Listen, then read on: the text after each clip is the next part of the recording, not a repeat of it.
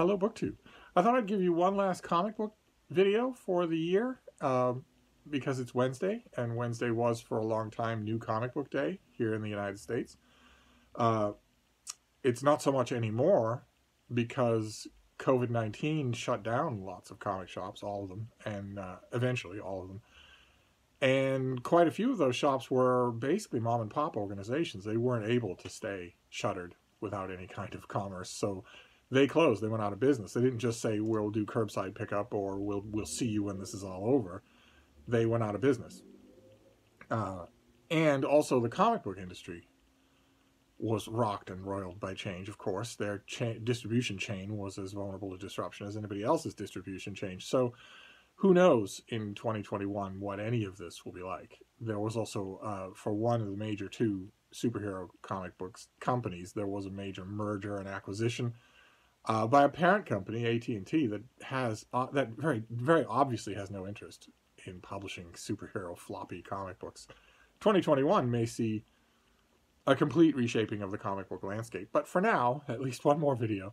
Wednesday is New Comic Book Day, and I wanted to give you a little update on all things comics in my world. I have not gone to a a brick and mortar comic book store in a long time. In fact, the last time I darkened the doorstep of one, I was visiting Mark Richardson and his family up in Vermont and went into their Newbury Comics. Other than that, no, I have not gone to a comic shop at all. Uh, for the longest amount of time that I've ever gone without, while I haven't been traveling, while I've been living in this country, I've always managed to find a comic book shop and gone, no matter where I was living. But not so now. Not only when they were open, it seemed like too extraneous a risk, but now most of them are closed. Most of them are out of business. The chain that Mark goes to, Newbury Comics, is the same one that I tend to go to here in Boston. And also, there is an independent comic book shop here called Comicopia that is also open. Its owner managed to, to weather the storm or is continuing to weather the storm. But I still don't go. They're, neither one is really part of my routine anymore. Uh, but I do manage to read comics, not only because uh, Mark and his wife very kindly sometimes send me comics, but also because some of you do too. and uh, 2020 also sees uh, out the phenomenon of Comicsgate, which has come up on my comic book videos many, many times. Uh, which has a bit of a long and convoluted history. I'll try to simplify it. Back in 2015 and 2016, uh, one particular person, Richard Meyer, uh, started to notice more and more two things in the Marvel comics that he was buying. He'd been a lifelong Marvel comics fan, loved them, went to new comic on New Comic Book Day, no matter what day of the week that was, religiously, just like I did. And he started to notice two things right around then that uh, he at first ignored, and then he thought, no, this isn't just happenstance, this is a plan. One of them was a decrease in quality where suddenly the scripts didn't look like they'd been edited and especially the artwork wasn't as good wasn't anywhere near as good. And i confess but even when i didn't know about him at all even there was no comicsgate long before then i'd started to notice something of that myself and i just put it down to a trough. Sometimes there's a trough period where neither marvel nor dc the two big superhero companies really have all that much good talent. You just just have to wait it out. That's all. Uh, I could point to trough years like that in the past where I bought the issues, but mainly for continuity's sake rather than to enjoy the production.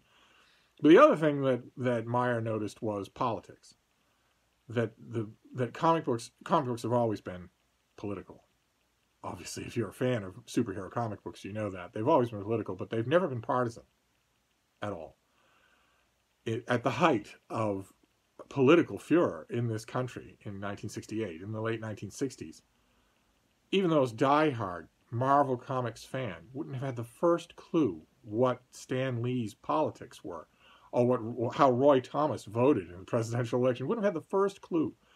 And the reason why is because not just because there was no social media, it's because Stan Lee, who was in charge of Marvel Comics at the time, would have instantly fired any writer who tried to make politics partisan. Because if you do that, you have to exclude part of your audience. And Stan Lee was all about including the whole of the audience. All he wanted was to sell comic books to people and get them enthused about the comics he was creating and masterminding and whatnot. But uh, as Meyer, and uh, there had been a few earlier blog commentators uh, who, who noticed the same thing. As he noticed back then, suddenly the politics seemed partisan. Suddenly, uh, if you didn't have the same politics as the writer of the book, then you weren't just, uh, you know, let's agree to disagree, but rather you were the enemy. And that started to be reflected in the books it started to be so that you couldn't even ignore it. It wasn't something that you saw in, you know, Amazing Heroes or online. It was something that was in the comics, so you couldn't ignore it even if you wanted to. Uh, and he decided, Meyer decided to do something about that. So he started a YouTube channel called Diversity in Comics, in which he called out both things on a regular basis, multiple videos a day. Kind of a freak makes multiple videos a day. he made multiple videos a day uh, they had zero production quality, and most of them were shot with holding the camera at his eye level, looking down at the comic in his crotch. and yet, the, the channel exploded. And I believe the reason why is because he tapped into a huge audience of tried and true traditional comic book fans who had noticed the same things and who were every bit as dissatisfied with them. And he made videos, video after video after video, and they were quite entertaining. He's he's an amateur artist himself, and so he knows what he's looking at on the on a panel of comic book artwork. Although even artists who weren't, eh, all you needed was a little experience reading comic books to know, all right, well this panel doesn't make any sense. This character is 50 feet away from this thing they're supposed to be right next to, or this anatomy is wrong.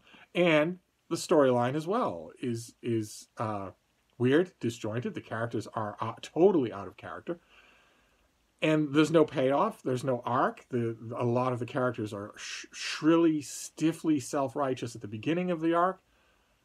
And they stay that way all through. They stay that way right to the end. Also, Meyer noticed that suddenly female superheroes were having an, an easy time of it. They would they would encounter Doctor Doom or Galactus or something, beat him in one punch, and then pontificate for four panels. No hero's journey, no stakes, no good storytelling. Uh, and his channel took off and became noticed by the very comic book fans or pros that he was calling out by name. Uh, some of that name calling, some of that calling out by name was itself unprofessional. But at the time, in his own defense, I don't think he was really planning on becoming a comic book professional. That will feature in the story here. But uh, they hated it. Those those pros hated it, and a thing that would have been unthinkable in Stan Lee's day when he got, they got the bullpen got plenty of negative mail. Some of it from yours truly. they, what would have been unthinkable would have been to fight back. That's not what you do, or not what you should do.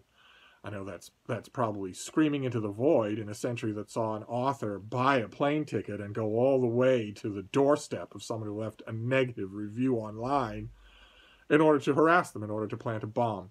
Now, it wasn't a bomb it was a book. The point I'm trying to make is that it was a bomb. If you're unhinged enough to buy a plane ticket and fly across the country in order to track down and find the address of a person who left you a negative review in order to leave something on their doorstep, then your intent is to absolutely terrify them, even maybe terrorize them into moving. So it might as well have been a bomb.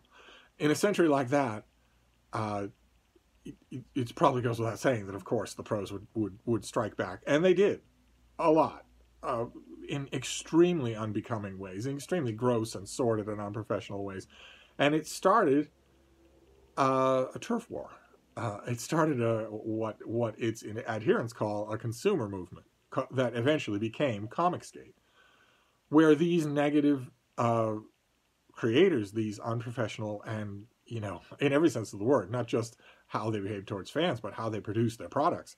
These unprofessional creators started to get called out. They started not to be considered anymore as protected under the giant corporate umbrella of Marvel Comics just in general. Instead, they were individual people who were doing a bad job. And Meyer pointed out at the same time that sales were cratering on some marquee books to where that should never happen. Now, I I have always thought that the, the cratering of comic book sales is a lot more complex than just culture war. But I could be wrong. It could be that comics were always marginal enough in their fan base so that if you are on the wrong side of a culture war, that will crater your sales. Could very well be. But one way or another, the creators did not cover themselves in glory. They uh, resulted to uh, pornography. They They resulted to, resorted to uh, blockbotting their fans and and blockchaining their fans and whatnot. And they they, uh, they also were much more explicit in the interviews that they gave in the industry, where they would come right out and say, if you don't like my politics, in other words, my politics as I express them on Twitter, if you don't like my politics, don't read my book. And they weren't reined in by Marvel Comics or DC Comics once the rot spread to DC. They weren't reined in by their editors. They weren't reined in by corporate. Uh, even though the book they were talking about might be Spider-Man or the X-Men or uh, this weird this weird homunculus Carol Danvers as as Captain Marvel that that Marvel Comics decided was going to be their flagship character Marvel Dan- Carol Danvers as Ms. Marvel, then Quasar, then Warbird, then Captain Marvel. This a, a, a extremely uh, boring th- third tier character who was occasionally made interesting when she was part of the Avengers, but not otherwise. Uh, but it, it, wasn't just her. If it had been just relegated to to uh, pocket comics like that, maybe it wouldn't have been quite so bad. But Spider Man is not your book. is the thing that I always wanted to tell these creators when I was watching their antics. I always wanted to say, Captain America, Spider Man, the Avengers, these aren't your book. You're a, you're a caretaker. And a lot of the people that you're slagging off as neo Nazis and white supremacists on social media were reading and loving that book long before you came to it. In some cases, before you were born. So they're not the people that you, they're they're the the loyal customers, and for you to be so entitled and proprietary is to say, well, if you don't like my politics, then don't read my book, and my book happens to be Spider Man and not get called for it by your superiors. Stan Lee, even a hippie like Roy Thomas, would have had you in his office in a nanosecond and said, I'm going to overlook oh, this this one time. If you ever do anything like it again, you're fired. I'll make sure you never work in the industry again. And oh, by the way, the first thing I want you to do when you get back to your desk is cancel your social media accounts. That would have been the first thing that even Roy Thomas would have done. But instead, nothing happened at Marvel Comics and then at DC Comics. Instead, writers got to say that even to vocal and sometimes raw fans. They got to say, if you don't like my politics, don't buy my book. It's not for you. Um, and that went on. And the, the longer it went on, the more uh, Meyer's channel became popular. And the more a refrain started cropping up in the ranks of those so called professionals. They started saying, it's easy for you to carp from the peanut gallery. Try putting a book of your own in stores and see how easy it is we bet that if you put a book in stores, it would fail massively. So you're no one to criticize us. Now, of course, speaking as a professional book critic, that is a line, a line of hogwash. No one needs credentials to, to it doesn't require credentials to offer legitimate criticism. Right? right? If you are, I, I always go back to cars because I don't drive them, but if you were driving your car down a hill and you noticed that the brakes really weren't working all that well. they're more a suggestion than a physic a physics action, and that you got to the bottom of the hill, pushed the thing to the nearest uh, mechanic, and said the brakes are wrong with this. The mechanic will not say to you, "Well, I don't see your mechanic certificate." no, no, you don't need qualifications to criticize something. But nevertheless, that's what the pros said to Meyer. They said, you know, among other things, among unprintable things, they said, try it yourself. It's so you make it sound so easy. Try it yourself. And he did. He crowdfunded a comic book. Uh, and it did really, really well. It made a huge amount of money. And it came to the attention of a small publisher, Antarctic Press, who has comic books that show up at Newbury Comics. They offered him a deal. And a comic professional, Mark Waid, the author of Kingdom Come, the author of, uh, of a couple of graphic novels that I actually have here at Hyde Cottage, uh, who had been a vociferous critic of Meyer and Meyer of him, apparently contacted Antarctic Press said, I, am not sure you know who you're dealing with here. Allow me to tell you who you're dealing with here. Now, the details are all murky, of course, if Waid did that, it's illegal. You can't you can't muck around someone's business like that. There are laws against that. The specific law, as the ranks of Comicsgate were to learn, is tortious interference. You're not. It's against the law to do that. But Waid went further. At public videotaped conventions and gatherings, he just routinely started referring to Meyer as a white supremacist which is slander. that is that is defamation. That that's also illegal. and, and it doesn't matter that Meyer rather self-evidently isn't. I mean, he has he has uh, multiracial children. It, it doesn't it doesn't so much matter. It matters what you say, and that is a hard thing to wipe off. I'd be willing to bet I didn't do it before this video, but I'm willing to bet that if I Googled Richard Meyer, that would be in the top five, or maybe the first thing that came up. And he knew that at the time. It made him furious. So he sued Mark Waid for both those things, tortious interference and defamation. Uh, he made a lot of money from his indie comic, from his from his uh, crowdfunded indie comic, and he ha- therefore he had a war chest. Waid is a wealthy man, and he had a war chest to take him to court. And uh, Comicsgate watched that lawsuit with avid intentions. they, because they knew what I've mentioned before when I brought it up on this channel, which is that uh, if it got to trial, which is Richard Meyer kept saying over and over again in videos, this I'm not going to back down. This is going to get to trial, and he's going to lose.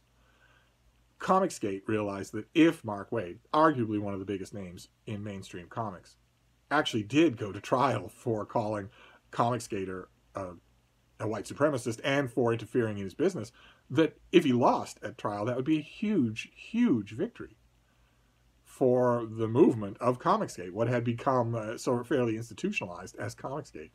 Uh, Waid acted like a guilty man. I think he had a stronger case than Comicsgate tends to think. Uh, number one, that Antarctic Press made a public statement saying there was no pressure, that, that, that Waid is innocent.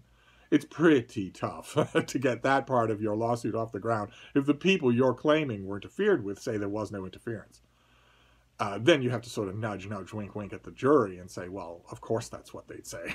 the, the defamation thing, much stronger. Waid was on much thinner ground there because there was evidence, direct videotape and audio evidence of, of some of him breaking the law. But he acted like a guilty man. He litigated. An old friend of mine used to say, lawyers argue and liars litigate. And he litigated. He got um, stupid motion after stupid motion floated. He got delays, all kinds of them, in what quickly became apparent was an attempt to simply outspend Meyer, to just make him quit because it was too expensive, and because he planned on dragging it on forever. Uh, also didn't help that one of Waid's lawyers, Mark Zaid, was a lawyer in the, the Russia investigation of Donald Trump that too many Comicsgaters, way too many Comicsgaters, who are generally smart people, way too many of them just reflexively referring to that as the Russia hoax. When it wasn't. It wasn't a hoax. It wasn't at all. If, if you don't believe, the Mueller report is a public document with barely any redaction. Just read it and see if you don't see blatantly illegal action and open collusion on the part of the American president with the Russians. But nevertheless, uh, one way or another, uh, the court case just dragged on and on and on. And the the thing that made it important here is that Meyer was raising money for it. Every video, he made um, at least two or three videos a day. Every video ended with, you know, I've got a GoFundMe going for this lawsuit. Feel free to contribute to it to fight back against the forces of cancel culture in comics. And a lot of people did that. A lot of people with very little money contributed to that fund because they were never going to get a better chance because the only other Comicsgater had anywhere near enough money uh, to to take a professional to court is Ethan Van Sciver, who is never willingly going to set foot inside a courtroom where he is open to discovery and deposition. Not in a million years. So the, the ranks of Comicsgate sort of closed behind Meyer. They thought, this is our chance. Uh, and the big Comicsgate news to round out 2020 is that Meyer withdrew the suit. This is this is just recently. Uh, already, Twitter and especially YouTube is already howling with videos and bleats of outrage that he did in fact quit. That this was just he withdrew the suit, and he and Mark Waid uh, issued a joint statement that they were going their separate ways. They're just going to let it go, and that neither one, uh, uh, with a nod towards one of the biggest things that happens in American jurisprudence, which is bragging rights. The nod in the in the statement was that neither one has the right to brag that they won. Now that isn't necessarily going to stop either one of them from bragging that they won, because what's going to happen if they do? Neither one's going to resume the lawsuit, and both of them know that. So Meyer could make a video tomorrow saying, well, yeah, I withdrew the suit because he begged me to. and uh, Mark Waid, I guarantee you, has already started dining out on saying, yeah, he withdrew the suit because he knew he'd lose. One way or another, uh, the ranks of Comicsgate assembled today are in sackcloth and ashes because they view this, I think rightly, as a major defeat for themselves. It looks like an amicable parting of ways that's completely neutral. But the, the goal here all along was not to quit. The goal was to keep going and to hold Mark Waid accountable for his abominable behavior. Uh, and that isn't going to happen. And it's it's not Mark Waid who asked for the suit to be withdrawn. It, it, of course, he couldn't. You know, it, it, was it was it was Meyer who, who made the the suit, and it, he was the one who asked to withdraw it. So that's all over with now, and who knows what the fate of Comicsgate is after this. Quite a few uh, Comicsgaters on, on Twitter were saying the Comicsgate is dead after this, that the, the bad guys win. Uh, the odd and sad thing about the whole thing is that it, it isn't probably going to make all that much difference. DC Comics, for instance, the publisher of real superhero comics like Superman and Wonder Woman and the Justice League and my beloved Legion of Superheroes, announced a massive trimming back of their line of comics. Massive. I mean, by two thirds. Marvel has a huge amount of cinema money, but will probably do likewise. And the, the people who will be left producing those little scraps will be the enemies of Comicsgate. They won't be traditional artists at all, I don't think. Uh, I think the traditional artists, the people that Comicsgate and I loved over the decades, will move on elsewhere. Comics will probably mutate in 2021 into something that's far more boutique, far more one-shotty, far far more expensive, but far less prolific. And the monthly comics will be sort of an abandoned battlefield, so none of this will matter. It, will be interesting to see how it turns out. Uh, so that's your your Comicsgate update. But I also wanted to give you comics updates. The comics that I've been reading. Now, one of them, I've got it here on my lap, and I have to tell you, my legs are asleep because it's so heavy. It's this. it's the five years later saga of my beloved Legion of Superheroes. Look at the size of this thing. One of you sent this to me as a present for Christmas. Isn't that incredible? Uh, and this is uh, the story of uh, the Legion of Superheroes, a band of teenage superheroes a thousand years in the future. I'm going to set this on the floor with a thud. Uh, only they, instead of being a thousand years in the future, they're a thousand years plus five. And in that five years, the universe has gone to heck. And the Legion has been disbanded in disgrace and some of its members have been arrested. They've scattered to the winds when suddenly a handful of them decide to re to get the band back together, to reform the Legion, because the galaxy still needs heroes. Uh, I read these issues when they first came out, and more and more loved them with every issue, and uh, waited just impatiently, like all Legion fans did, for it to be collected. And now it finally has been. I'm, I'm going through this volume, uh, one issue at a time, in loving detail. This will be a reread for the ages. Uh, but there is something else, also a gift uh, from one of you. I noticed, I mentioned that in 2020 I've done a lot of e-reading. I've switched over to a lot of e-reading. And one of the fringe benefits of that has been finding how generous a lot of you whiz kids are. Not all of you, but a handful, half a dozen whiz kids have been sending me their electronic libraries. And it's been so much fun, so nice to, to meet such generous people. And recently, one of you sent me a run on Marvel Comics by one of the villains of, of Comicsgate, by Dan, the writer Dan Slott, who blocked fans on social media with such wild abandon that the fans actually nicknamed him Slotto Blocktavius, referring to Otto Octavius, Dr. Octopus, uh, a great Spider-Man villain, uh, played by Alfred Molina in one of the only good Spider-Man movies. Uh, and I guess Molina is going to reprise his role in the next Spider-Man movie as Doctor Octopus. Doctor Octopus always struck me as kind of weird as a Spider-Man villain.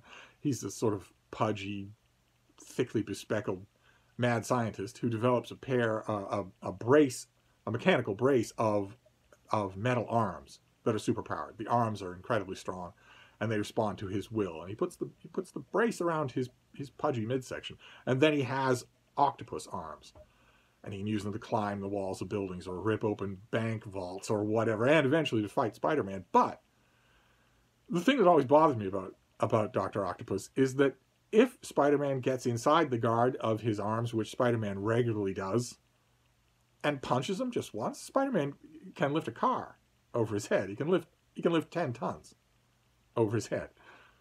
So if if somebody who can lift ten tons over his head punches you in the jaw, the the fight's not going to continue raging over the rooftops of Brooklyn. You're going to be dead, or if he pulls the punch, you're going to be comatose for a year. That should have been the end of Doctor Octopus the very first time that happened. Instead, it, just keeps going on and on, where Spider-Man can pound the daylights out of him. No writer ever addressed that. No writer ever said some feedback of the mechanical arms actually enhances his physical durability. That would have been easy to do. No writer, as far as I know, ever did that. Instead, it was just it was just this incredibly superpowered teenager pounding away on a guy who looked and acted and sounded like a substitute science teacher. uh, and years ago, right before Comicsgate really ignited, Dan Slott had a fantastic idea.